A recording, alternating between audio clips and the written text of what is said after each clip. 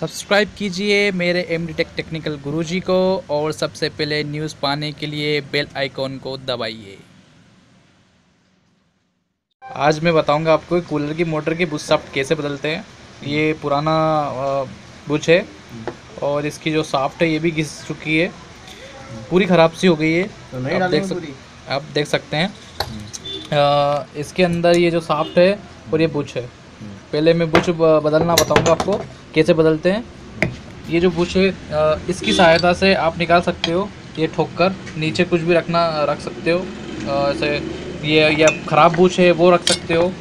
और ऐसा कैसा बुश यहाँ पे ऐसा लगेगा ये इसके बाद में इसका फॉर्म है वो लगेगा। उसके बाद में लगेगा आपका स्प्रिंग स्प्रिंग इस तरीके से स्प्रिंग लगाना जो छोटा भाग है वो पहले जाएगा नीचे जाएगा। उसके बाद में ये जो इसका ढक्कन है ये लगेगा। सबसे एक आसान तरीका इसमें जो नट बोल्ट आते हैं दो नट बोल्ट लगा दो। मैं बताता हूँ कैसे लगा।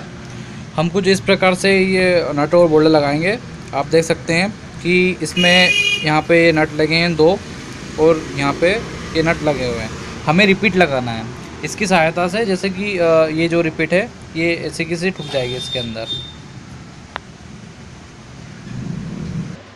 सबसे पहले नीचे जो है नीचे की तरफ़ हम है। नीचे की नीचे की तरफ़ इसको उधर कर उधर कर हाँ। नीचे की तरफ़ हम एक कुछ भी लगा देंगे सपोर्ट के लिए ताकि ये निकले ना और हटे ना। ये जो है हमें इस प्रकार से लगाना है। ये ये लग जाएगी। फिर हमें इसे ठोकना है।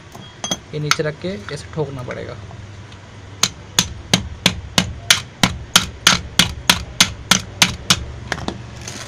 फिर हमें साफ्ट की मदद से इसे ठोकेंगे।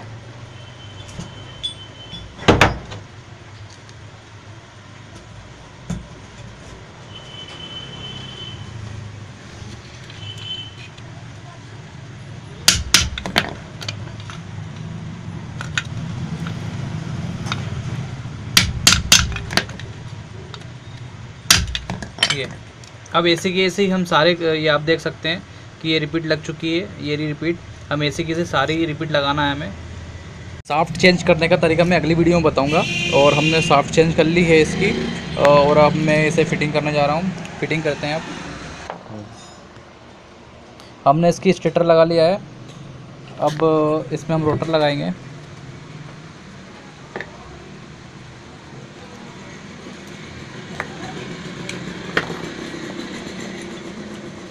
पहले रोटर का जो बुच है सॉरी बुच ठीक कर लो उसके बाद हम रोटर लगाएँगे।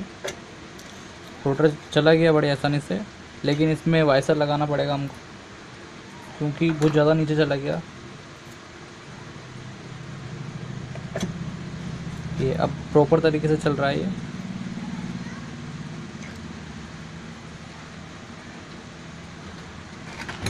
ठीक। ये हमने अभी इसमें लगा लिया है अब ये ऊपर का ढक्कन। बाकी का हमने चेक तो कर ही लिया था कि कैसे लगेगा। अब इसमें ये ऐसे कैसे लगा देना है। ये।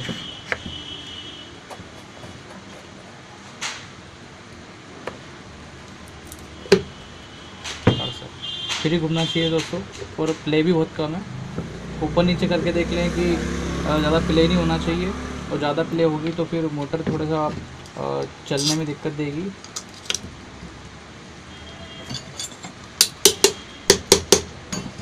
आसानी से ये ताड़ी जो है इसकी वो लगा लें आप।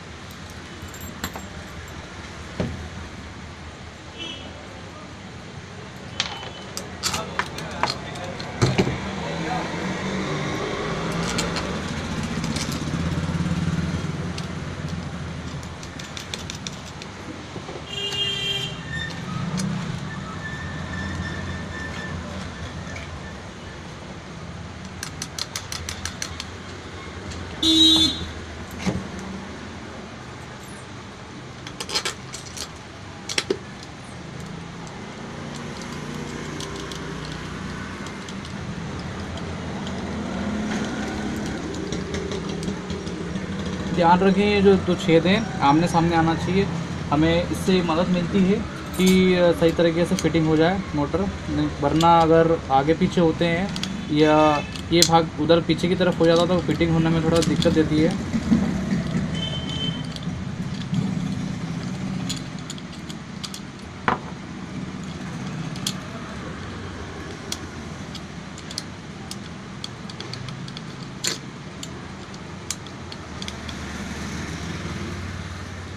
आप चला चला के देख लें। टाइट नहीं होना चाहिए, एकदम फ्री होना चाहिए।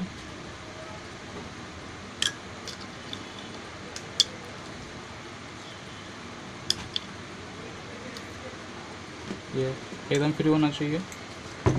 टाइट रहेगी तो मोटर लोड लेके चलेगी और गर्म ज़्यादा होगी और ज़्यादा गर्म होगी तो जल जाएगी।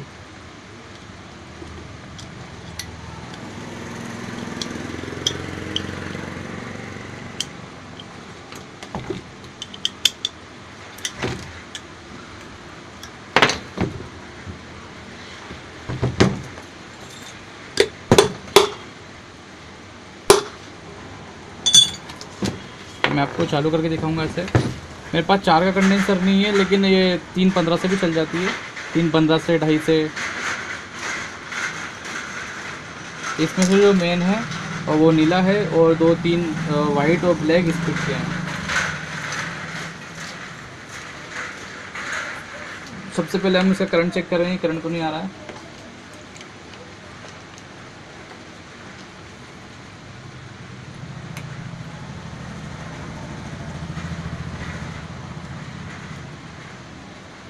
करंट नहीं आ रहा है। अब चालू करके देखते हैं हम इसको।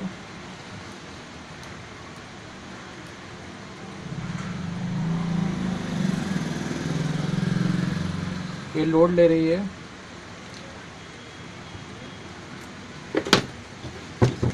अब इसे हम थोड़ा सा फ्री करेंगे। थोड़ा थोड़ा ढीला कर देते हैं ये। ताकि ज़्यादा टाइट चल रही है मोटर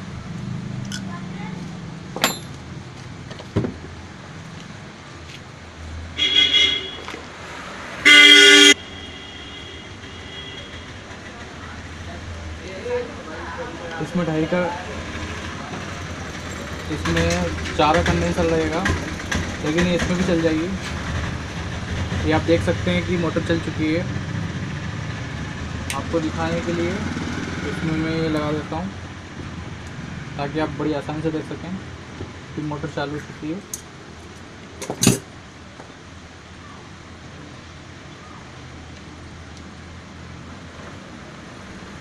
ये नीला वायर तो ये ब्लैक वायर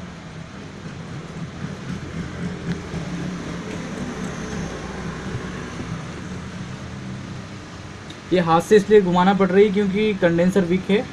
इस वजह से हाथ से घुमाना पड़ रही है इसको। अगर आपको मेरी वीडियो पसंद आई तो लाइक कीजिए सब्सक्राइब कीजिए। Thank you